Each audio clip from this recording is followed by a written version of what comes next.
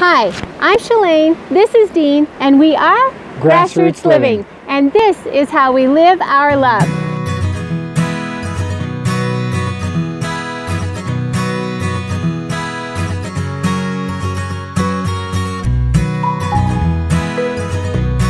Okay, welcome back. Hopefully, you were with us last week. We are talking about the 10 things you need to know to start your life on the road as a full time RVer.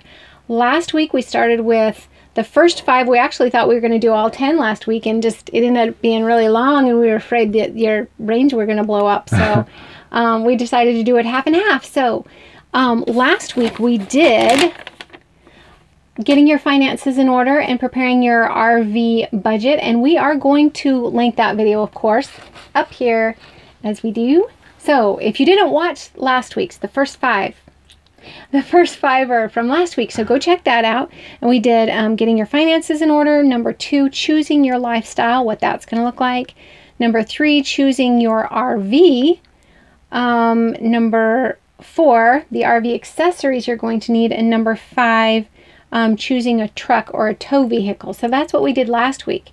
So today's video will show the second five. You want to you want to tell them what the second five? So we're talking about downsizing. How do you go from your sticks and bricks house that your apartment that you have right now into a It's not smaller thing?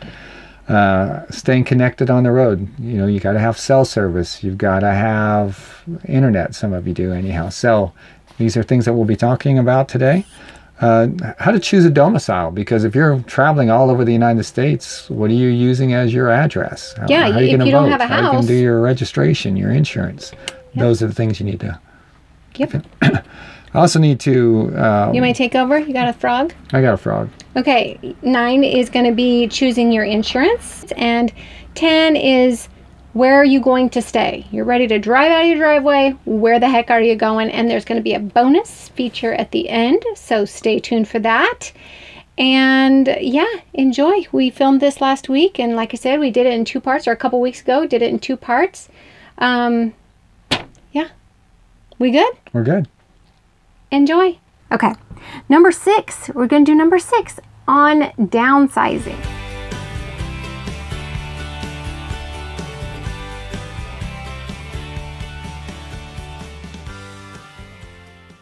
So, there's a lot of different ways that you can go about downsizing, and a lot of it depends on your timeline. Um, if it's quick, you're probably going to end up getting stuff rid of stuff you don't even want to because Yeah. it's going so fast. But most of us have a little bit of time to plan and to prepare. And so don't get overwhelmed. If you've got the time to do it, take it room by room, closet by closet, drawer by drawer, and don't get overwhelmed. Keep in mind that um, you can always rent a storage unit if you want or need to. Um, we've got sweet family members that um, we've kind of taken over one of their rooms or one of their closets. Um, so if you've got good family or friends, they might be able to keep stuff, or like I said, a storage unit.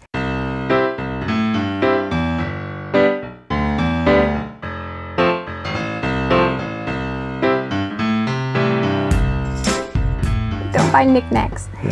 Uh, no tchotchkes. Yeah, finally, if at all possible, well, I'm going to do this in steps. If you have the time to go from a big house to a smaller house or a house to an apartment, that might be something to consider. It's a way to downsize a little more gradually. Um, also, if you have the opportunity, if this is possible at all, uh, buy your rig and park it on your property. Park it near your house. Live in it. Move into it a little at a time. Move in everything that you think you're going to need and go, oh, no, I do need X. And you can go back into the house and get that. So if it's possible for you to make that kind of a transition, that's a great way to do it. So, downsizing, don't let it overwhelm you. This lifestyle is so worth anything that you're going to get rid of. And somebody's going to be grateful for what you took to the thrift store, right? So, keep that in mind. You're Or doing a charity. Yeah, you're doing a charity when you give those things away and purge a little bit, and it's all going to be worth it in the end.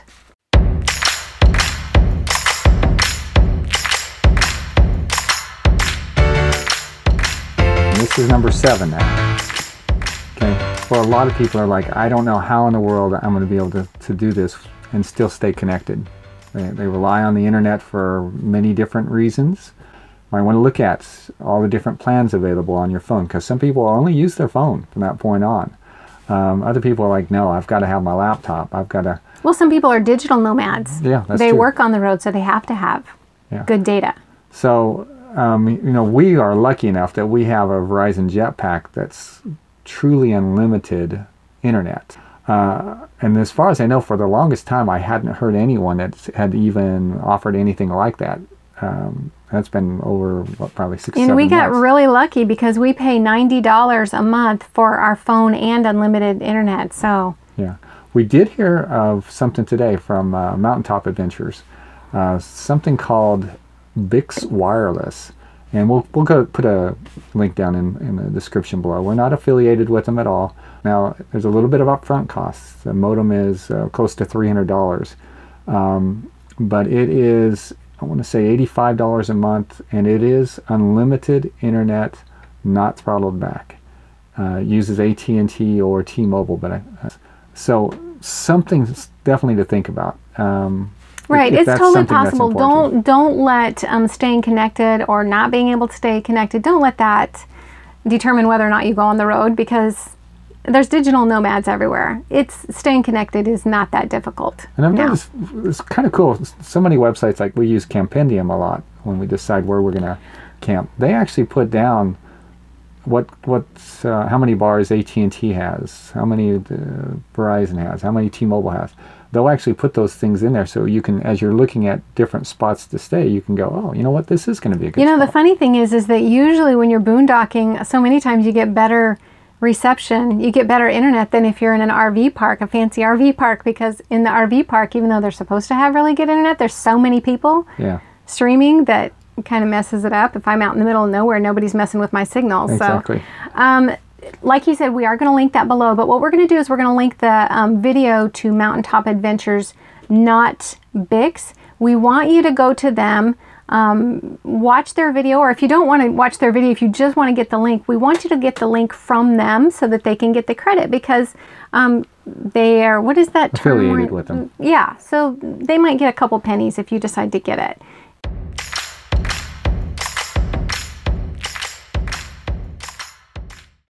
Okay, we're on number eight. So we're getting we're getting closer. I, I wonder how they see that. Okay, so we're getting closer. So number eight is choosing a domicile. uh, choosing a domicile. Domicile is like where you live or where you're gonna pretend to live, right? So um, a lot of RVers like to choose non-income tax states. I said that right, right? Um, there's a little bit of a list. How many are there? Like eight or nine? I want to say about eight. Yeah, not a long list, but there's some choices. Probably the most common are South Dakota and Florida. And Texas. Texas. Probably Texas. And, okay. There's so much research on the internet already. I mean, there's there's YouTube videos on this, so you can go ahead and go find that. But keep in mind that you do need to cho- choose a domicile because choosing a domicile is going to you're going to need to know that when you go to get your insurance, right? Insurance, Other things. uh, voter registration. Yes. you know so so a lot of people what they'll do is they'll use uh, one of the mail forwarding services some of the most common are america's mailbox uh, good sam has one uh, the escapees uh, organization also has these types of things um, and so you pay a certain amount per year and then you can use that as your address mm-hmm. and then you can go in with that information you can go in and get your driver's license and registration for your new license plates and things like that a lot of lot of stuff out there i'm not going to go into more detail than that but just know that Or you could use a family member. We actually don't use a mail service. We use our daughter, which I'm sure she loves. She's super sweet. She just keeps all our mail, and we talk about once a week, and she goes through it, and they um, text us uh, pictures of stuff if we need something. And do keep in mind too that if you're like we're at an RV park right now, which is rare for us, but we are right now, and I needed a package from Amazon. And I just ordered it and it came directly to the park. It came directly to our door yeah at our site. So so yeah, you'll choose a mail service, but yeah, you can get packages wherever you're at. We still shop at Amazon far too much. okay. Why can it be like that? All right. Before you go, you have to choose your insurance provider. And we're talking about all kinds of insurance, just like you have a home, uh, you know, home, ins- or not homeowners, but RV RV insurance, yeah. insurance, health insurance, life insurance, Car vehicle insurance, insurance, all the insurances. Okay, you got to choose that before you head out. Um, And that's why it's important to establish a domicile. yes, Because by doing that, like health insurance is usually limited to that state, unfortunately. Yeah. So um, there are supplemental plans that some RVers have. You know, supplemental plans that will chase you around the country. yeah. We don't have it. There's something called RV Health, for example. We're not affiliated with them. We're not affiliated with anything yet. But I will say this: they have uh, like a phone phone doctors. So got get all your insurance in order. Keep in mind that domicile matters a lot of times when it comes to insurance. That's the story on that. Okay, we're on number 10, which is good because I'm starting to get tired and hot and loopy. I always wish I could do the drum roll thing with my tongue. Number 10, I can't, but number 10 is decide where you're to stay. You're ready. You got the RV. You're ready to drive out of the driveway. Where are you to stay? So there are uh, four ish main factors in this. And number one is just do you have to work? We are not, uh, we do not get any retirement yet or any kind of supplemental income of any kind. So we are work campers. We usually work one to two jobs a year um, for anywhere from maybe five. We work maybe five to seven months a year. Would you say that's fair? We work that right. much. Most places, when you go to work there, provide your site. You're going to go where your job is, and there you're not going to pay for your site. Usually, if you are taking a job where you have to pay for your site, obviously decide whether that's worth it. We're going up to Alaska. Our next job that we've already signed on for is up in Alaska this summer. Um, the pay is good enough to justify the fact that they don't pay for our site. So we can still pay for our site and feel like we're um, comfortable with the money that we're making there. Usually, we do not take jobs that don't include the site. Right. Okay. So, first factor is are you going to work? And if you're going to work, that's where you're going. Okay. The second factor is where the heck do you want to go? This life is about freedom. And this is what we do, right? We decide where we want to go and then we find a job there. Yeah? Yeah.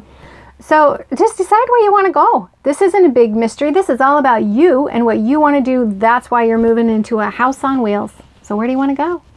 Um, and if you have to work, just go find a job there. They're everywhere. So that's not hard to do.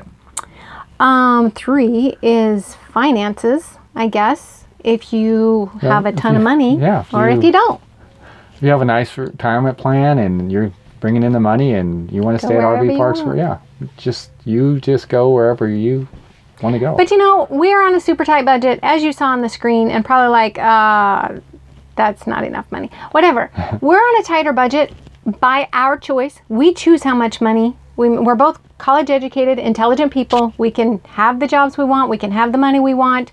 We choose our income, Right. right? Um, so our, but our budget is tight.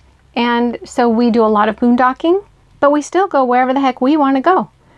So yeah, but it is going to depend on your finances where you stay, right? that is true. And just number four is just where can you fit? If you have chosen a, a larger rig, you do have to do more planning than we have to do. Um, because even if you choose a, a nice RV park, there are still in some RV parks limited spaces for the bigger rigs. We've got Suite Travels. We met them. They're awesome. They're beautiful, beautiful, beautiful people. And we love their rig. Oh, you have to check out Suite Travels.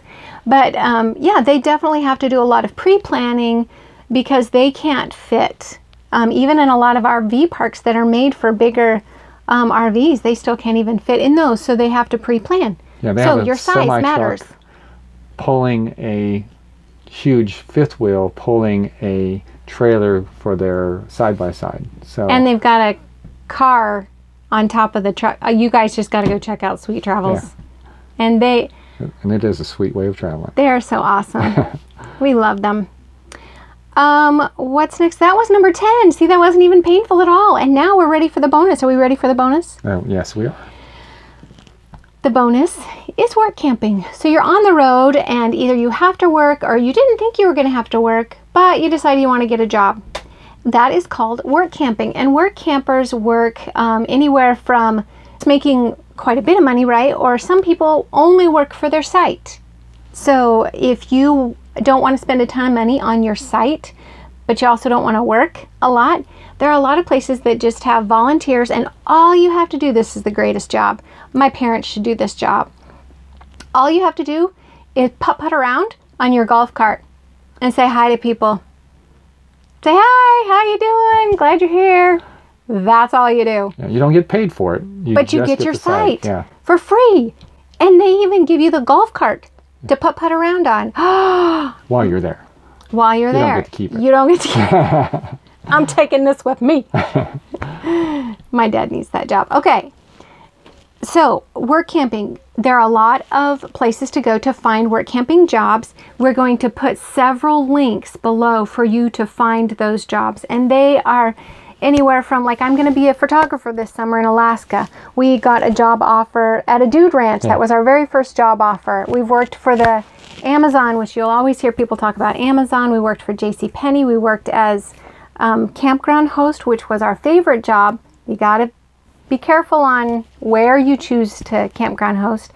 Um, so let's see. That wasn't there a pheasant hunting place Yeah. We looked into for sure. that offered us a position there?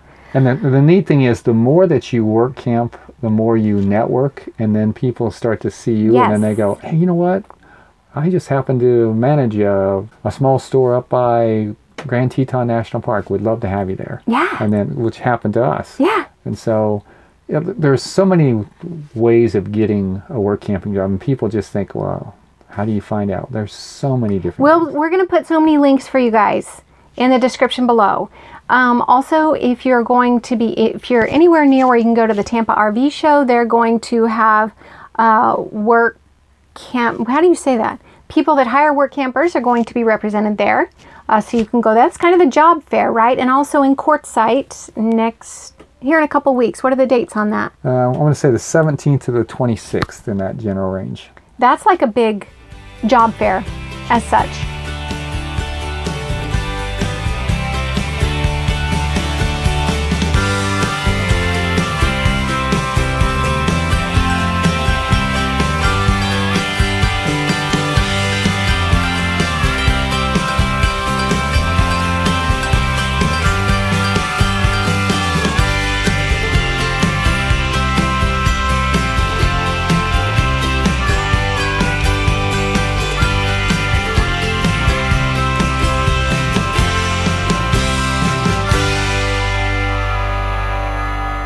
Okay, so keep in mind that there are a million different work camping jobs um, from really, really, really super short term to long term to volunteer for your site to make $15 an hour. So that's all over the board. So keep work camping in mind if you want to do that. If you have any questions, you can always ask in the comments below. We would be happy to an- answer any of those questions. Also, Steve Turtle has a channel specifically about work camping, and there's all kinds of um, videos on that. But feel free to contact us in the comments below or even through our Facebook page, which is Grassroots Living 180 at Facebook. And I think we have a link. We should have a link. We'll put a link below to that too, where you can also ask us questions. Did you have any final words of inspiration? Um, for people that are really looking into this lifestyle, I there is a book I'd like to recommend. It's only on Kindle though. Um, Yeah. Robin Barrett is the name of the author, and she lives a nomadic life. And what's the name of the book? Do you remember? Yeah. Be a nomad, change your life. And the reason it's only on Kindle is because she has got tons of links. You think we're overwhelming you with links? Uh, half her book is links. And so links are always changing. And she wanted to always, for her book to be current, so it's Kindle only um, so that you can check out those links in her book Because she'll constantly so good. them. But there's also a lot of other books if you don't do the Kindle thing. Um, But yeah, as you're researching, use YouTube. There's a lot of Facebook groups, tons of RV Facebook groups. I'm sure I'll link one or two. Um, so yeah, just check those things out. Ask us questions. Ask, ask, ask, ask, ask, ask. Right? Yeah. Yeah. But like we said, it's totally worth it. We love our life. Um, it's pretty rare. I don't know if I've ever met an RVer that says, "Oh, this life sucks. I don't want to. I totally regret this." Because uh, they probably wouldn't be there. If No, they go back into the house. That's right. All right. If you like this video, please like, subscribe, and most importantly, this is one we really, really want you, we encourage you to share with anybody that you think might be considering this lifestyle. Um, anybody, anybody can do this. So, you watched last week, hopefully, and if not, I linked it, and then you went back and watched it. So you got the first five, now you got the second five, you got all 10 things you need to know, and you are ready to go on the road, and we're excited. And call us because we want to hang with you if you're cool enough to be a full time RVer.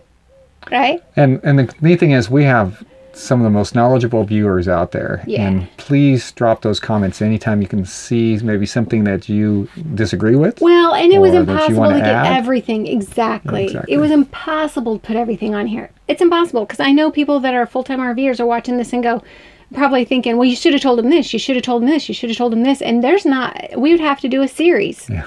That'd be a pretty good series. We'd would have to mm-hmm. do a series. But if you're one of those people and there's something that you wish that we would have told these newcomers, put it in the comments. They are, you remember when you went first went on the road and you're wanting all of the information you can have. So put that information in the comments so that they can read those comments and, I, you know, gather more information. The more the merrier, the more the better. That's right. Right? That is- Okay.